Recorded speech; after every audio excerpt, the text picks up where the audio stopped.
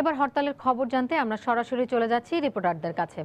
এই মুহূর্তে রাজধানী নয়াপল্টনে বিএনপি অফিসের সামনে আছেন আমাদের রিপোর্টার সঞ্জীব রায়। চট্টগ্রামে কাজের দেউরি মোড়ে আছেন পার্থপ্রতিম বিশ্বাস এবং রাজের সাগরপাড়ায় আছেন মেহরুল সুজন।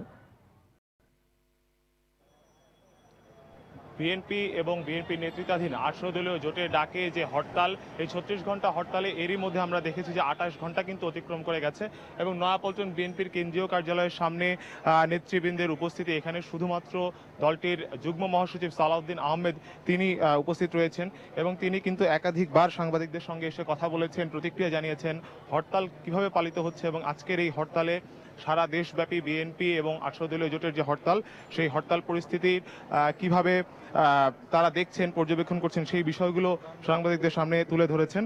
তো এর আগেও আমরা কথা বলেছিলাম সালাউদ্দিন আহমেদের সঙ্গে, তখন তিনি জানিয়েছিলেন যে হরতালের যে বাকি সময়টুকু, সেটুকু যাতে শান্তিপূর্ণভাবে পালন করে। তো তিনি কথা বলছেন, আমরা একটু শুনে নেই, তিনি এই মুহূর্তে কি বলছেন? সাংবিধানিকভাবে আমাদের গণতান্ত্রিক অধিকার আছে সরকারের অপকর্মের বিরুদ্ধে, দুঃশাসনের বিরুদ্ধে, লুটপাট, দুর্নীতির বিরুদ্ধে হরতাল করে এর প্রতিবাদ জানানোর। এই অধিকার খর্ব করার অধিকার আমাদেরকে, এই সরকারকে কেউ দেয় নাই। এটা আমাদের গণতান্ত্রিক অধিকার, সাংবিধানিক অধিকার। আমাদের আন্দোলনে প্রতিদিনই নতুন মাত্রা পাচ্ছে, নতুনভাবে তীব্রতা সৃষ্টি হচ্ছে।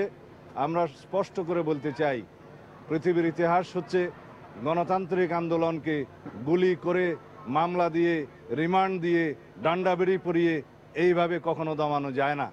ইনশাল্লাহ এই আন্দোলন, এই জনদাবিতে আন্দোলন অবশ্যই সফলতা পাবে।